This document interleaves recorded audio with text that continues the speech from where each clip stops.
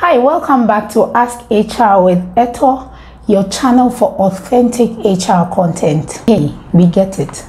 Networking is not at the top of everyone's to-do list. It can be time consuming, downright awkward on occasion, and depending on your personality, it can be incredibly draining. When your calendar is already crowded with work and family engagements, the last thing you want to do is to have small talk with a stranger at some cocktail event.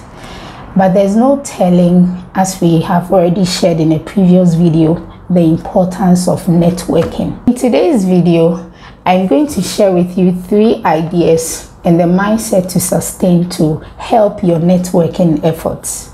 Tip number one, start networking before you ever need to.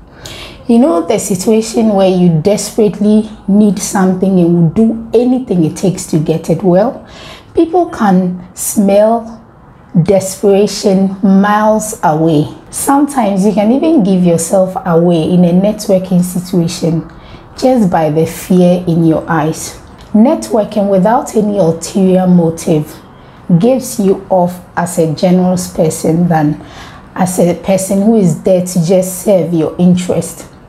Now, all the nervousness, the fear, and the awkwardness can be taken away from that conversation when you walk in there knowing that you have value to offer. So, always step into a networking situation sustaining this mindset that I have as much value to offer to the other person as much as I may be expecting something from him or her. Tip number two ever heard of the five P's? Proper preparation prevents poor performance. Preparation precedes success in any venture, and it's the same for networking.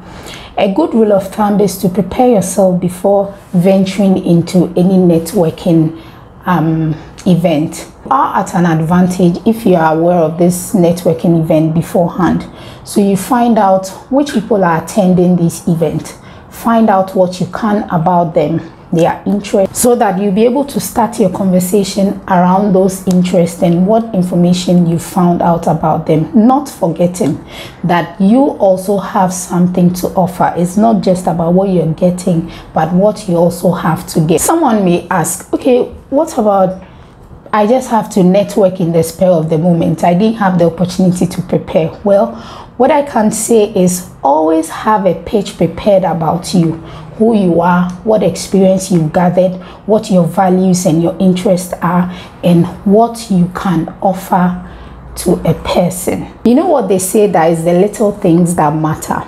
So that brings me to my third point. You always have to follow through, follow through, and follow up.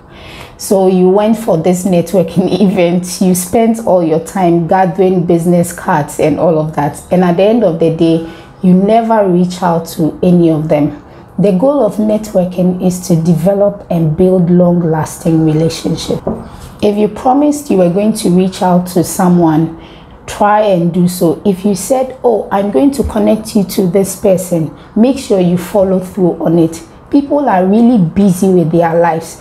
And so if you make a promise and go ahead to deliver on it you really leave a lasting impression on people and people begin to take you seriously. So there you have it. Start networking before you ever need to always follow through and follow up and always walk into your networking situations prepared. Thank you so much guys for watching today's video. I'd like you to subscribe share like and comment. And don't forget to click the notification bell so that you can receive my subsequent videos